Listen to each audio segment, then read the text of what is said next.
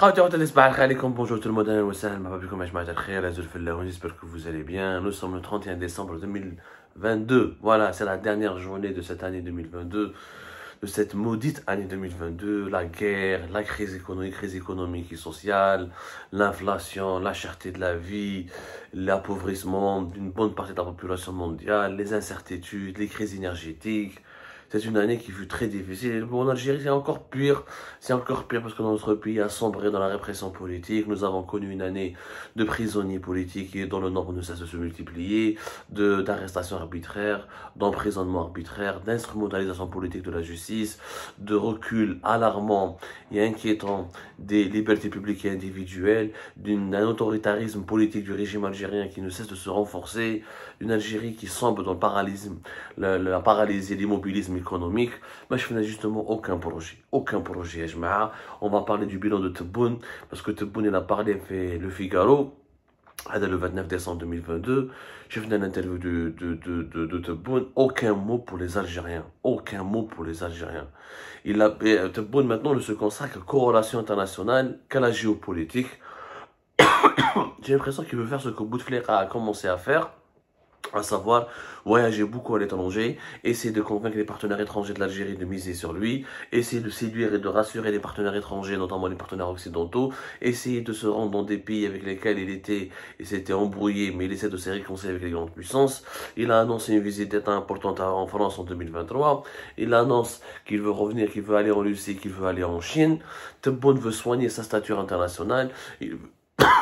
il veut coûte que coûte faire croire aux Algériens et aux Algériens qu'il veut être l'équivalent de Houari Boumedine, qu'il veut être meilleur que Bouteflika, qu'il veut jouer le rôle d'arbitre dans pas mal de dossiers géopolitiques sensibles comme la question palestinienne, et qu'il veut insuffler une nouvelle dynamique au mouvement des non-alignés, au Malabalish, mais rien n'a été fait, rien, aucune annonce pour l'intérieur du pays, pour les Algériens, pour l'intérieur du pays, pour les Algériennes et les Algériens lambda, ordinaires. 2022, Abdelmajid Tebboune a fait 7 voyages à l'étranger. Deux fois en Égypte. Première fois en janvier 2022, deuxième fois pour la COP27, euh, juste après euh, le sommet des chefs d'État de la Ligue. Deux fois au Qatar. Une fois pour une visite d'État et de, travail, la deuxième fois pour l'inauguration, pour la cérémonie d'inauguration de la Coupe du Monde à la fin de l'année 2022. Il a, été il a été au Koweït. Il a fait une visite importante en Italie. Il a été en Turquie mais il ne s'est même pas rendu dans une wilaya en Algérie. La seule visite, c'était à Oran pour l'inauguration des Jeux méditerranéens euh, fin juin, début juillet 2022. Aucune visite dans une wilaya de l'Algérie. Aucune visite, aucune rencontre avec le peuple algérien. Aucun, aucun contact avec la population algérienne. Abdelmajid Tebboune vit entre l'aéroport, euh, le salon d'honneur de l'aéroport d'Alger et ce palais présidentiel de Mouradia et sa résidence d'État à Idles C'est tout ce qu'il connaît de l'Algérie. Le reste de l'Algérie, il connaît rien. Mais la les Algériens, mais la les Algériens sont en train de souffrir. Ce qu'ils veulent, les Algériens, sont leurs préoccupations, quelles sont leurs attentes, quels sont leurs espoirs, quels sont leurs souhaits ou leurs vœux il ne connaît absolument rien aux Algériens. La population algérienne, se contente d'obtenir des informations sur elle par le biais de ses conseillers et de ses ministres. Mais il ne part jamais en contact avec la population algérienne. aucun projet n'a été réalisé ni inauguré par ses soins, ni aux nouvelles autoroutes, ni des nouveaux, ni, ni, nouveaux chantiers de bâtiments, nouveaux chantiers de logement, ni des nouvelles usines, ni des nouvelles unités, euh, euh, ni des nouvelles unités industrielles, euh, le seul projet où il a posé, où il a, qu'il a inauguré, c'était avec l'émir du Qatar, le lendemain de du sommet des chefs d'État de la Ligue arabe, le 2 novembre 2022, euh, pour un, hôpital algéro-qatari allemand, soit disons un hôpital algéro-qatari allemand la ville de Sidi Abdallah. On ne connaît même pas un, hôpital de 400 lits. Le Qatar et l'Algérie, où d'après mes informations, c'est le Qatar qui va financer cet hôpital. Le petit Qatar qui fait, qui offre un hôpital à la grande Algérie. Une humiliation un petit, petit pays de 400 000 habitants nous offre un hôpital. À nous, l'Algérie, l'un des, le pays le plus important sur le continent africain, pays de 45 millions d'habitants avec une histoire millénaire. Une histoire millénaire. C'est un petit pays qui existe que depuis 1971 pour nous offrir un hôpital. شوفوا تبهدل من لحقوا وتبون راح يلا inauguré ou normal فرحان ou... aucun autre projet n'a été inauguré l'extension de Bellaram à Qatari très symbolique aucun projet important n'a été fait en 2022, ni en 2021, ni en 2020 d'ailleurs. Rien. Tebboune ne se contente en ce moment de parler que de l'étranger et attaquer le Maroc, essayer de se rapprocher de la Russie, on se prend ses distances avec la Russie pour se rapprocher des États-Unis d'Amérique, euh, essayer, essayer de se rapprocher de la Chine, on se prend ses distances avec la Chine pour se rapprocher de la Turquie, essayer à rabibocher avec la France, avec Emmanuel Macron. À deux reprises, il ne cesse de faire des louanges et des éloges à Paris, parce qu'il veut absolument se rendre à Paris, qui est le seul, la seule capitale occidentale qui est prête à l'accueillir. Après Rome, Rome, c'est pas une capitale très influente, et Rome, les Italiens l'ont accueilli, rappelez-vous, parce que c'était... Euh, la question du gaz, ni plus ni moins. voilà, Tebboune était à Rome à la fin du mois de mai 2022. Donc, il est en quête, Boone ne se préoccupe que de sa légitimité sur la scène internationale.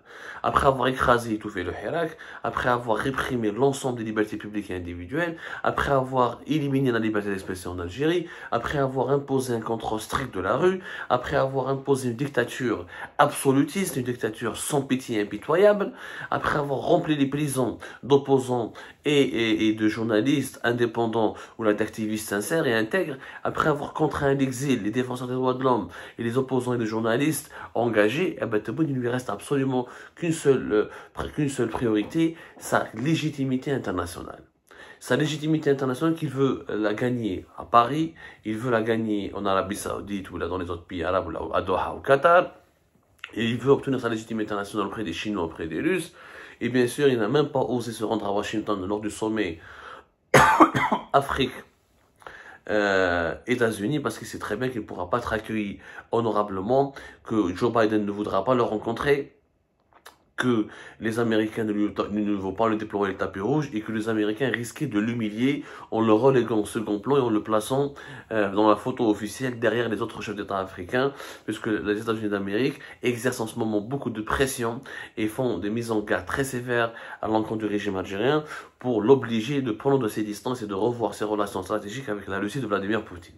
Kishev ne sera pas et parmi la cinquantaine de chefs d'État africains qui sont sur place, il ne pourra pas bénéficier d'une exposition médiatique, ni ne pourra rencontrer Joe Biden en aparté, ni ne pourra euh, se mettre en valeur et, attirer les projecteurs et faire la vedette, et eh bien, il a décidé de ne pas partir. Il a fait exactement la même chose avec le sommet Chine-Ligue arabe qui s'est euh, déroulé à, Riyad au mois de décembre de l'année 2022. Donc, il a été absent des grands rendez-vous internationaux lorsqu'il s'agit, parce qu'il ne peut pas euh, faire valoir sa personne, mettre en exergue son image, ou la en tirer, ou la faire de la promotion uniquement pour sa personne, parce qu'elle est belle dans un cadre multilatéral, en présence de plusieurs chefs d'État et de présidents, il va fondre dans la masse, il passera inaperçu.